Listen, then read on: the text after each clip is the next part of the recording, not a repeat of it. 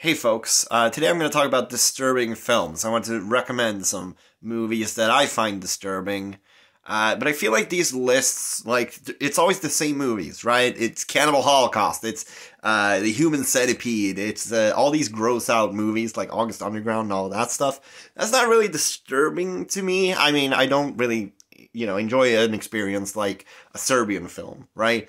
But like, I want to get towards the more like psychological stuff and there's some gory stuff as well on this list um, but yeah I, I basically wanted to wanted to highlight some films that that i find disturbing but i, I never like see on these uh, disturbing movie lists. So let's just get into it I'm gonna go out on a limb here and say that Punishment Park is one of the bleakest movies ever made. I discovered this one randomly on Mubi, and I thought it had a really interesting concept. It's from 1971, and it's a mockumentary from a British filmmaker sort of critiquing America, like the Vietnam War and, and blind American patriotism.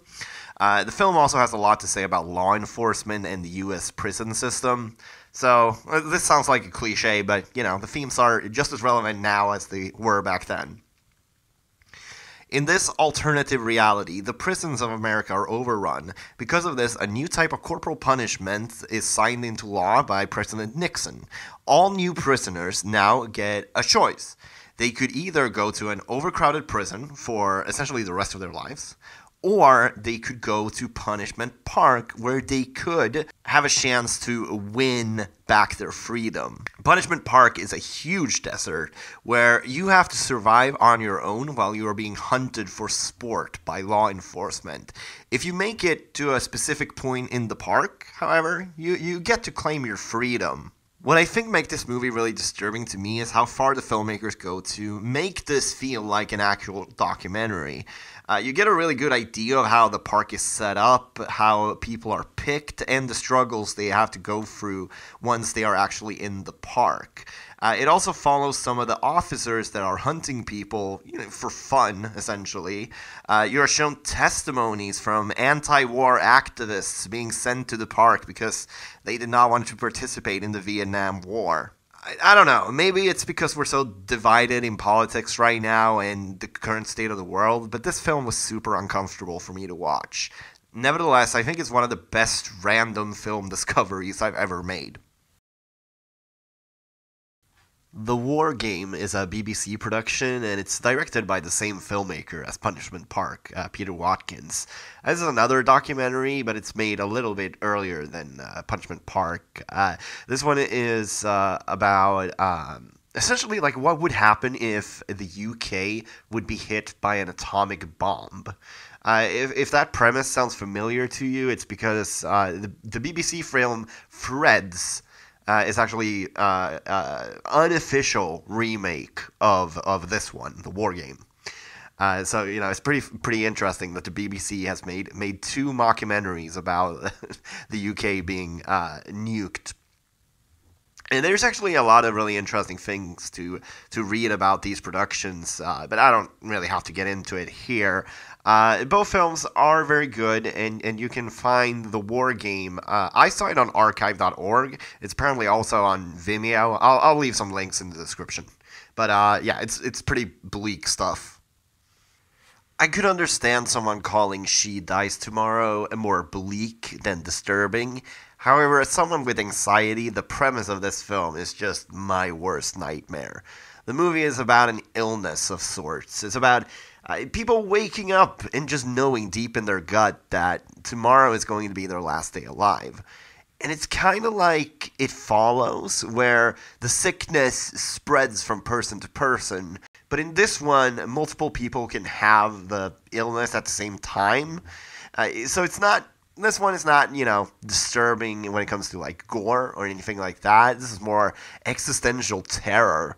Uh, so if this stuff doesn't really bother you, you'll probably just think it's a pretty cool artsy movie. But for me, uh, like this is the type of shit that really terrifies me.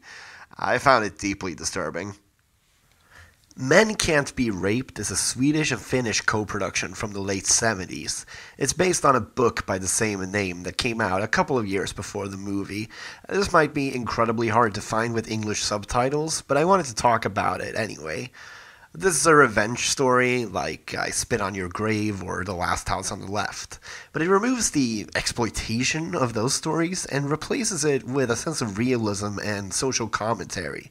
Needless to say, this is a very heavy movie, and the thing I found most disturbing of it was its portrayal of the consequences of sexual assault you feel for the main character as her entire life falls apart. And, and she watches the man who, who wronged her continue to live his life like nothing ever happened but do not be fooled. This is a very heavy drama, so don't go in expecting to see like a gory, crazy revenge movie. It's rather slow paced, and I think some people will be put off by that, but the ending is totally worth it.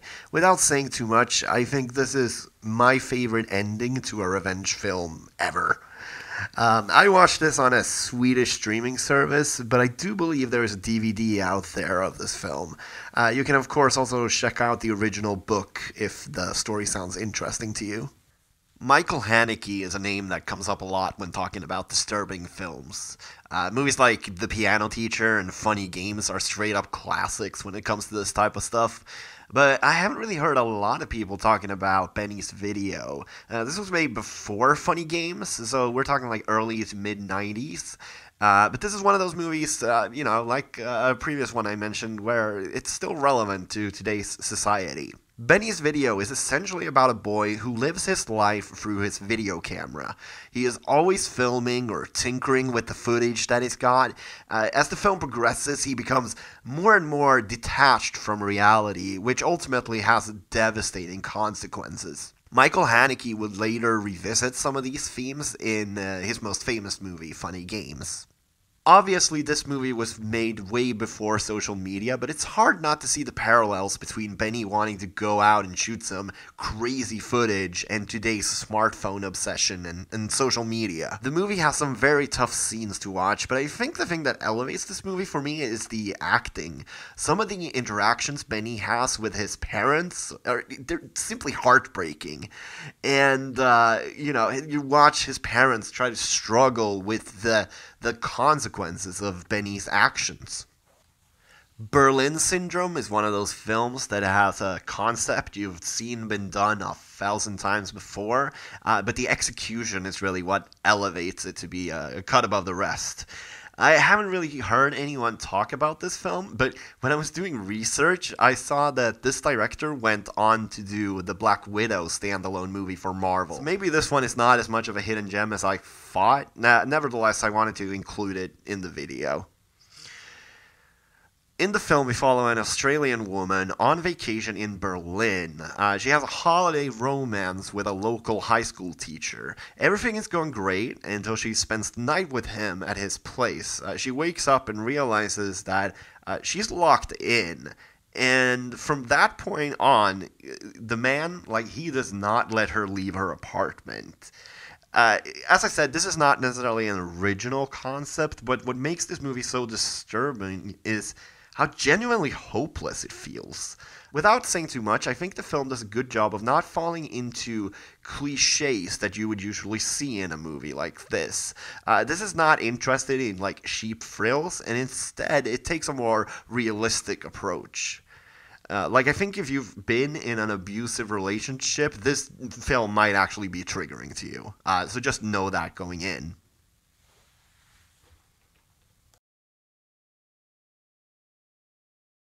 The Woodsman is directed by Nicole Kassell and stars Kevin Bacon as Walter, a convicted pedophile who returns to his hometown after spending 12 years in prison.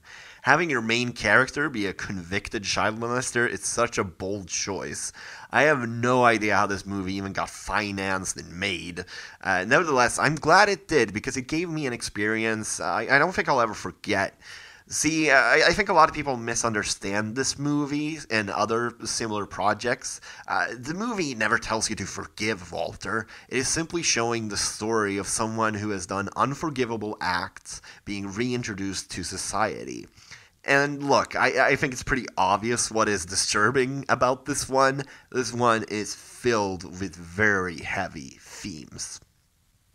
The one thing I wanted to mention, though, is that I, I think this film is great, but there is one scene in particular that gets like a little bit silly from a writing perspective, and, and, and that's all I'll say about that. I because it's rather late in the film, but I still love this movie, and I, and I think it's a good watch if you want to challenge yourself.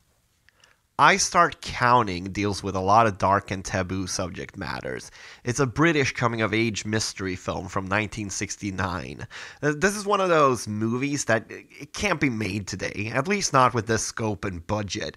Like it feels like at least one producer would take a look at the script and say, "Yeah, we're we're not doing this."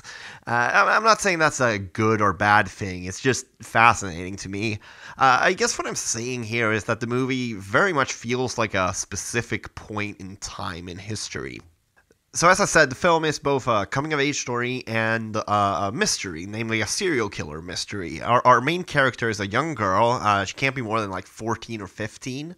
Uh, she has a foster brother that she is madly in love with, even though he is in his mid 20s.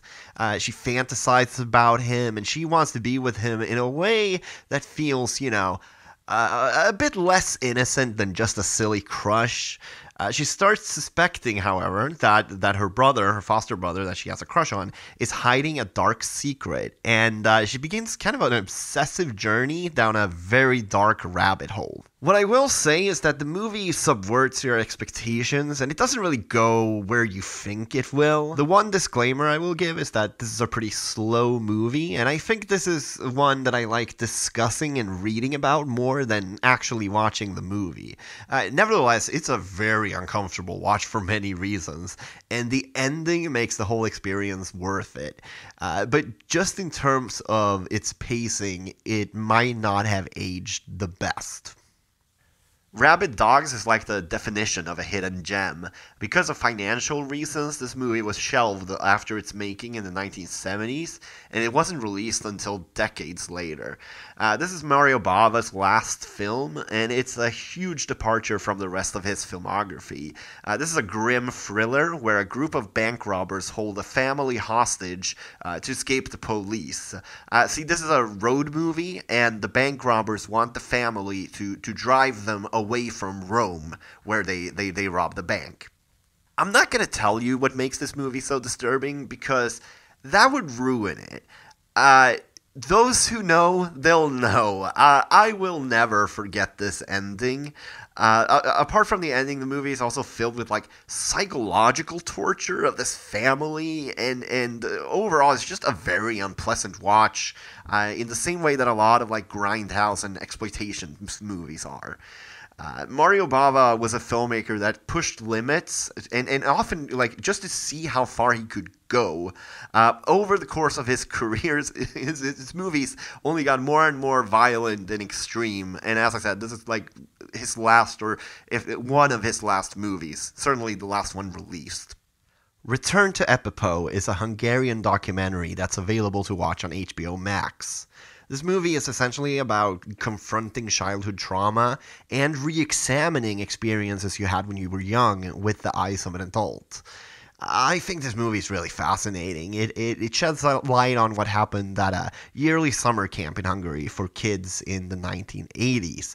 The camp was called Epipo, and before it was known for its systemic abuse of children, a lot of people had incredibly fond memories of their time at this camp we are shown how a lot of people became friends at the camp and then stayed in touch for the rest of their lives.